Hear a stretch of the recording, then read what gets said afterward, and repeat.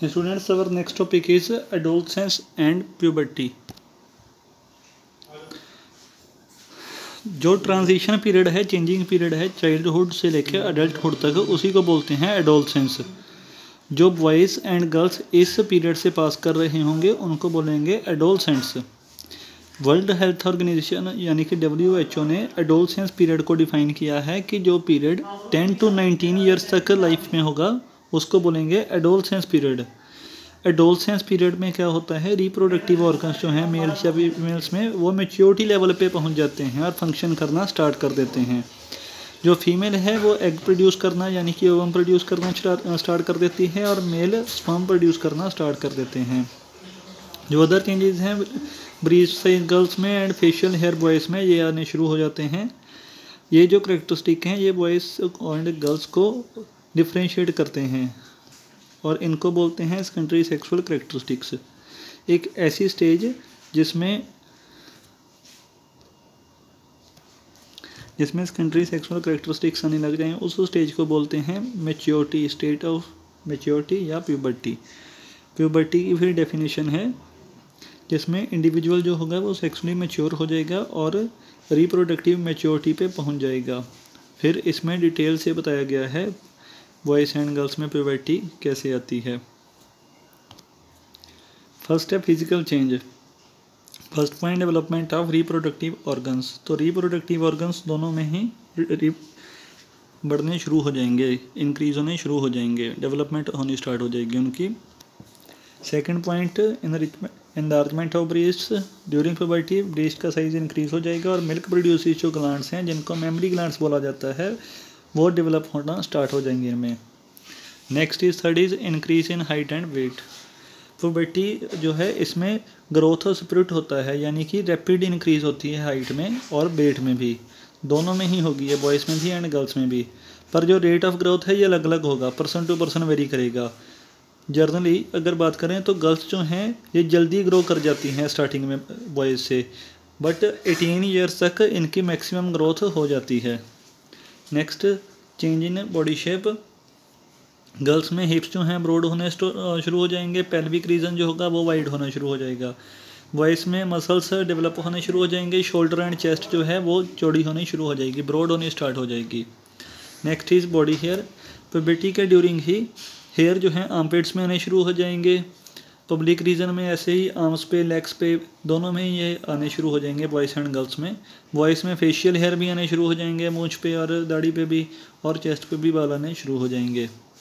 Next in change in voice voice box या larynx जिसको बोलते हैं, वो इंक्रीज होना स्टार्ट हो जाएगा प्यूबर्टी में, जिससे वॉइस चेंज होनी स्टार्ट हो जाएगी।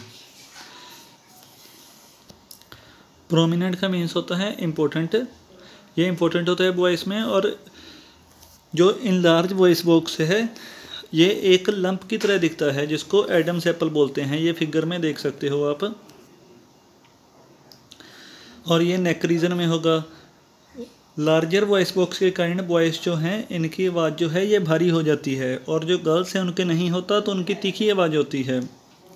जब इन इनिशियली साइज़ इनक्रीज़ होना शुरू हो जाएगा एडम एप्पल का तो वॉइस की आवाज़ जो है, ये क्रैक या ब्रेक होनी स्टार्ट हो जाती है। बट थोड़ी टाइम बाद ये नॉर्मल हो जाती है। Next is increase activity of sweat and oil glands puberty में स्वेट और ऑयल ग्लैंड्स जो बॉडी में होंगे, ये ज़्यादा एक्टिव हो जाएँगी और स्वेटिंग पसीना ज़्यादा आना शुरू हो जाएगा। जो इंक्रीज एक्टिविटी होगी ऑयल ग्लैंड से, उसके कारण पिंपल आने शुरू हो जाएँगे। Next is maturity menstrual cycle जो साइकिल है, एक प्रोड्यूस करना और रिलीज़ करना मेच्योर ओवा का, साथ में ही चेंज लाना ओवेरिस में और जो टेरस में इसको बोलते हैं मेंस्ट्रुअल साइकिल जो स्टार्ट है इसका, ये पता बताता है हमें कि गर्ल्स जो है, वो अब बेबी प्रोड्यूस करने के कैपेबल हो गई है। फॉलोइंग जो है, ये सीक्वेंस हैं जो मेंस्ट्रुअल साइकिल में होते हैं। फ़र्स्ट ऑफ़ ऑल जो पिट्यूटरी ग्लैंड है, वो एक हार्मोन सेक्रेट करती है, जो कंट्रोल करता है ओवेरीज को कि वो मेच्योर ओवम को रिलीज़ करें। जो दो ओवेरीज होंगी, ये एक एग को प्रोड्यूस करेंगी या ओवम को प्रोड्यूस करेंगी और ट्वेंटी एट डेज़ के बाद एक ओवम प्रोड्यूस होगा।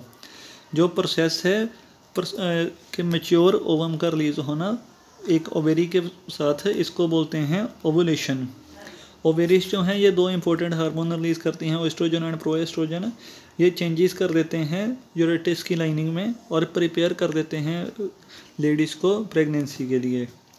दी ओवम जो होगा, ये अपनी जर्नी स्टार्ट करेगा फिलोपियन ट्यूब से नीचे आके। अगर ओवम फर्टिलाइज नहीं होता स्पर्म के थ्रू तो ये डेड हो जाएगा और डिसइंटीग्रेट मतलब अलग अलग होना शुरू हो जाएगा और हार्मोन लेवल भी फिर कम हो जाएगा। नेक्स्ट जो लाइनिंग यूटेरस की होगी, वो ब्रेक डाउन होनी स्टार्ट हो जाएगी और बिल्कुल हट जाएगी। साथ में ही ब्लड का लॉस होगा। इस फ़ेज़ को फोर टू सिक्स डेज़ लगते हैं और इसको मेंस्ट्रुअल पीरियड कहते हैं या मेंस्ट्रुएशन बोलते हैं। जो नेक्स्ट मेंस्ट्रुएशन होगी, वो करीब ट्वेंटी एट डेज़ के बाद होगी। अगर कोई फर्टिलाइजेशन नहीं होती इस पीरियड तक तो। इस टेबल में नेक्स्ट सारा बताया हुआ है। ये चेंजेस बताता है जो जो मेंस्ट्रुअल साइकिल में होंगे। जो अडोलसेंट का फ़र्स्ट मेंस्ट्रुएशन होगा, उसको बोलेंगे मैंने एंड उसको usually occur ten to fifteen year की एज में होगा। जब जब वुमेन बड़ी होती जाएगी, उसकी रिप्रोड्यूस करने की, यानी कि बेबी को पैदा करने की जो कैपेसिटी है, वो ख़त्म होती जाएगी और ये बाद में बिल्कुल ख़त्म हो जाएगी। जब बिल्कुल बच्चा पैदा करने की कैपेसिटी ख़त्म हो जाएगी, उसको बोलते हैं मैनापोस और usually forty five to fifty five years की एज में होती है ये चीज़। ये देख सकते हो आप कि डेज़ में first one to five days में क्या होगा? लाइनिंग जो होगी, ये शेड होगी, ये झड़गी, झड़ेगी। नेक्स्ट सेकंड जो पीरियड होगा सिक्स टू ट्वेल्व डे का। इसमें न्यू एग जो होगा, वो मेच्योर होगा। Third thirteen fourteen fifteen day में क्या होगा? एवोल्यूशन होगी।